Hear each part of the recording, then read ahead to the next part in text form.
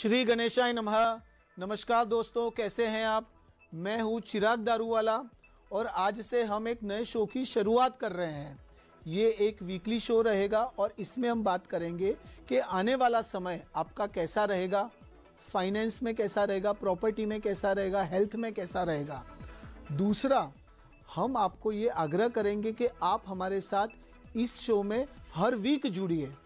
आपको ज़रूर से लाभ होगा। आज का एपिसोड में हम बात करेंगे कि मई आठ से मई चौदह का समय कैसा रहेगा। दूसरा, हम आपको ये चीज़ बोलना चाहते हैं कि आप जीवन में पॉजिटिव रहें। अगर आप पॉजिटिव रहते हैं तो आपको कोई भी इंसान कभी भी पीछे नहीं कर सकता। यानी कि मन में एक पॉजिटिविटी रखिए सिचुएशन कोई भी हो, आपको कोई भी प्रकार की तकलीफ़ नहीं होगी। अब हम शुरुआत करेंगे पहली राशि की, मेष राशि, आपके अटके हुए काम।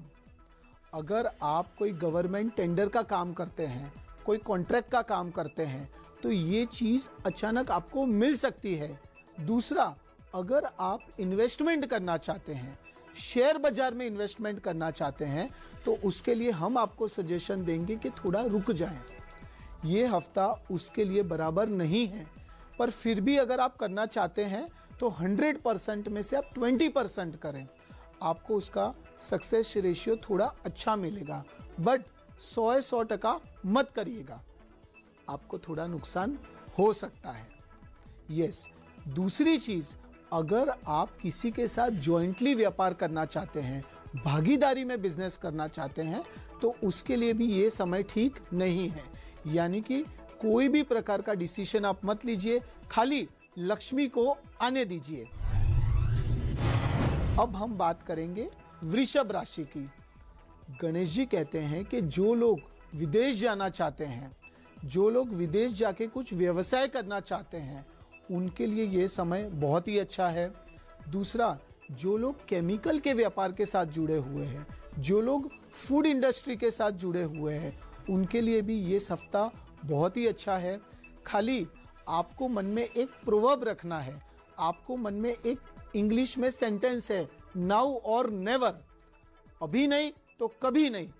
दूसरा, अगर आप कोई कानूनी मामलों में इनकम टैक्स हो गया जीएसटी हो गया, कोई भी गवर्नमेंट चीज़ों में फंसे हुए हैं तो उसके लिए भी ये हफ़्ता बहुत ही अच्छा है। गणेश जी कहते हैं कि Jupiter is the planet of good luck and prosperity यानी कि जुपिटर आपको एक सक्सेस रेशियो देगा, एक प्रॉस्पेरिटी की तरफ़ ले जाएगा। यानी कि वृषभ राशि वालों के लिए ये हफ़्ता बहुत अच्छा है। मिथुन राशि वालों, अगर आप सोच रहे हैं कि हमें कुछ प्रॉपर्टी लेनी है, कहीं पे इन्वेस्टमेंट करना है जॉइंट वेंचर करना है तो यह हफ़्ता आप सभी के लिए बहुत ही अच्छा है। आपको शिवजी भगवान की आराधना करनी है। एवरी मंडे आपको ये बोलना है, ओम नमः शिवाय। 51 टाइम्स अगर आप ये रिसाइट करेंगे और आप पॉजिटिवली जाएँगे, आप ये गिन लीजिए, आपका काम होगा। दूसरा, अगर आप विदेश संबंधित कुछ एक्सपोर्ट करना चाहते हैं या इंपोर्ट करने का काम कर रहे हैं तो उसके लिए भी यह हफ़्ता बहुत अच्छा है। खाली मन में आपको ये चीज़ रखनी है कि मुझे ये चीज़ करनी है। कोई भी प्रकार की नेगेटिविटी आपको नहीं रोक पाएगी। यानी कि मिथुन राशि वालों, आपके लिए हफ़्ता बहुत अच्छा है। अब हम बात करेंगे कर्क राशि की। गणेश जी कहते हैं कि ये हफ़्ता आपको थोड़ा सावधानी से रहना होगा। पति पत्नी के बीच में मन मुटाव हो सकता है और वो मन मुटाव आपको कहीं ना कहीं मेंटली डिप्रेशन में लाएगा। और डिप्रेशन मीन्स नो पैसा नो पावर नो मनी यानी कि आपको अपने पार्टनर को थोड़ा खुश रखना पड़ेगा। दूसरा, अगर आपका कोई भी प्रकार का डिस्प्यूट चल रहा है अपने पार्टनर के साथ पार्टनर मीन्स बिज़नेस पार्टनर के साथ तो ये हफ़्ता उसके लिए बहुत ही अच्छा है। आपके क्लाइंट्स के साथ जो डिस्प्यूट चल रहे हैं लेन देन में कुछ डिस्प्यूट चल रहे हैं तो उसके लिए भी ये हफ़्ता बहुत अच्छा है। थोड़ा सा मगज को शांत रख के डिसीशन लीजिए 100 परसेंट आपको सफलता मिलेगी। अब हम आते हैं सिंह राशि पे। सिंह नाम से ही आपको पता चल जाएगा शेर यानी कि ये हफ़्ता आपको शेर बन के रहना है। कोई इंसान आपको कितना भी डराए, आपको चीट करने की भी कोशिश करे, आपको चीट नहीं होना है। कोई भी प्रकार का फाइनेंशियल डिसीज़न आपको नहीं लेना है। हाँ अगर आप म्यूचुअल फंड में इन्वेस्टमेंट करना चाहते हैं, आप सोचते हैं कि बैंक में फिक्स डिपॉजिट रख दूँ, कुछ पैसा आपके पास पड़ा है, उसको कहीं इन्वेस्ट कर दूँ तो म्यूचुअल फंड अच्छा है फिक्स डिपॉजिट अच्छा है। बट आपका पैसा आपके पास रहना चाहिए, आपके अंडर में रहना चाहिए तो सेफली आपको खेलना है। आपको कोई भी प्रकार का बड़ा रिस्क नहीं लेना है। अब हम आते हैं कन्या राशि पे।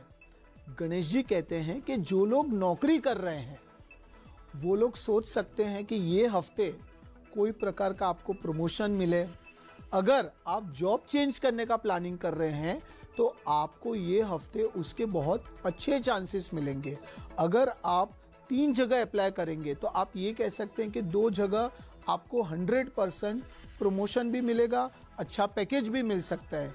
यानी कि जॉब सीकर्स और जो करंट जॉब कर रहे हैं, वो चेंज करना चाहते हैं तो उसके लिए ये हफ़्ता बहुत बेहतरीन है। अगर आप बिज़नेस कर रहा है, कर रहे हैं, और अगर आप अपने व्यापार को बढ़ाना चाहते हैं तो उसके लिए भी ये हफ़्ता बहुत अच्छा है। अब हम बात करेंगे तुला राशि की। अगर आप रेंट पे रह रहे हैं, आपको नए घर में शिफ्ट होना है तो उसके लिए यह हफ़्ता बहुत ही अच्छा है। दूसरा, जो लोग मेडिकल फ़ील्ड से जुड़े हैं, जो लोग साइंटिस्ट हैं, उसके लिए काफ़ी अच्छा है। क्यों? क्योंकि वो लोग कुछ नया इन्वेंशन कर सकते हैं, कुछ नए प्रोजेक्ट्स ला सकते हैं। यानी कि सपने साकार करने के लिए यह हफ़्ता बहुत ही अच्छा है। दूसरा, अगर आप कोई वाहन खरीदना चाहते हैं टू व्हीलर खरीदना चाहते हैं, गाड़ी खरीदना चाहते हैं तो उसके लिए भी यह हफ़्ता बहुत ही अच्छा है। अब हम बात करेंगे वृश्चिक राशि की। गणेश जी कहते हैं कि जो लोग शेयर बाज़ार के व्यवसाय के साथ जुड़े हैं, जो लोग ट्रेडिंग का काम करते हैं उनके लिए यह हफ़्ता बहुत ही अच्छा है।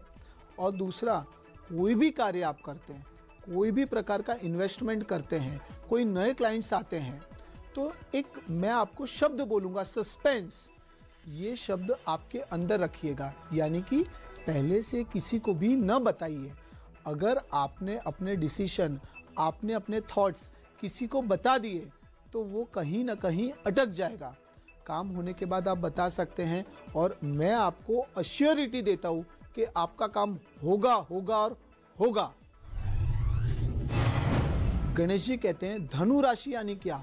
धनु मीन्स धन. यानी कि धन के लिए ये हफ़्ता बहुत अच्छा है, पर आपको गणेश जी की आराधना करनी है। ओम गणेशाय नमः। इसको आप 101 बार रिसाइट करें। जो लोग चार्टर्ड अकाउंटेंट्स है इंजीनियर्स है फाइनेंस रिलेटेड काम करते हैं बैंक में जॉब करते हैं, उनके लिए बहुत अच्छा है। क्यों? क्योंकि पैसे की आवर जवर बहुत बढ़िया रहने वाली है। और मैं ऐसा मानता हूँ कि जब पैसे की अवर जवर रहती है तो आपको कहीं ना कहीं उसका सक्सेस रेशियो उसका पार्ट मिलता ही है। यानी कि कमीशन के लिए भी ये हफ़्ता बहुत ही अच्छा है। अब हम बात करेंगे मकर राशि की। आपके साथ कुछ लोग गलत करने का विचार कर सकते हैं, उसकी कोशिश कर सकते हैं, यानी कि आपको थोड़ा सावधान रहना है। शनि आपको ये बताता है कि आपको कष्ट मिल सकते हैं बट अगर आप थोड़ी सावधानी रखेंगे तो आपको कोई भी प्रकार की कोई भी दिक्कत नहीं होगी। दूसरा, अगर आप कोई भी प्रकार का इन्वेस्टमेंट करने का सोच रहे हैं बिज़नेस प्लानिंग कर एक्सपांशन का सोच रहे हैं या कोई नया बिज़नेस का सोच रहे हैं तो ये हफ़्ता आपके लिए बहुत अच्छा है। सोमवार से उसकी शुरुआत करें। आपको शिवजी भगवान की आराधना करिए, करनी है। और साथ साथ में हनुमान जी की भी आराधना करेंगे तो आपको बहुत ही मज़ा आएगा। अब हम बात करेंगे कुंभ राशि की। गणेश जी कहते हैं कि जो लोग सोना चांदी का व्यापार करते हैं या जो लोग ऑनलाइन ट्रेडिंग करते हैं सोना चांदी की, उनके लिए बहुत ही बेहतरीन है। सोने का भाव ऊपर नीचे रहेगा बट आपका माइंड आपको सही जगह से पे इन्वेस्टमेंट करवाएगा। दूसरा, अगर आप कंसल्टेंसी वाला व्यापार करते हैं तो उसके लिए भी ये हफ़्ता बहुत ही अच्छा है। आपको शुक्रवार को यस शुक्रवार को आपको लक्ष्मी जी की आराधना करनी है। अगर आप लक्ष्मी जी की आराधना करेंगे तो आपको अच्छा पैसा मिलेगा, आपका ग्रोथ होगा, आपको प्रॉस्पेरिटी मिलेगी।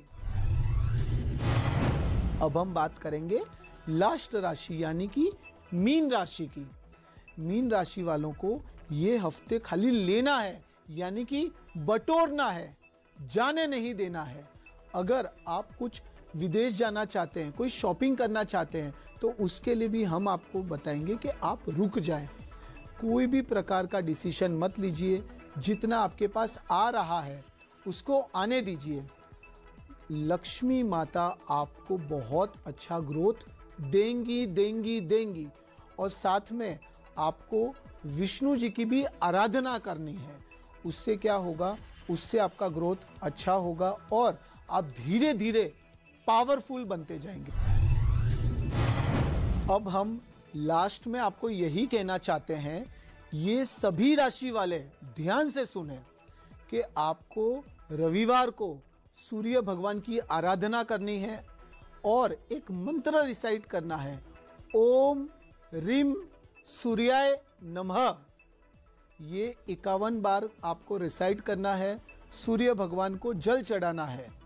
एक मुखी रुद्राक्ष पहनिए। इससे आपको थोड़ा पावर मिलेगा। प्लस जो भी अड़चने हैं, जो भी आपके आसपास नेगेटिविटी है, वो धीरे धीरे दूर होगी। जो भी भगवान में मानते हैं, उनकी आराधना करें। एक सच्ची श्रद्धा रखें। आप कभी भी पीछे नहीं पड़ेंगे।